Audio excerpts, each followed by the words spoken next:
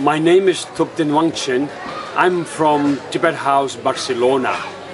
And uh, I think Tibet is important for the whole world because Tibet we have a, uh a very rich uh, cultural heritage and uh, Buddhist philosophy which based on a non-violence and peace message and how to live all beings, all human brothers and sisters together for uh, inner peace and uh, less destruction of our uh, environment and the respect for the ecology and uh, is something uh, which is danger now in Tibet uh, under the Chinese government.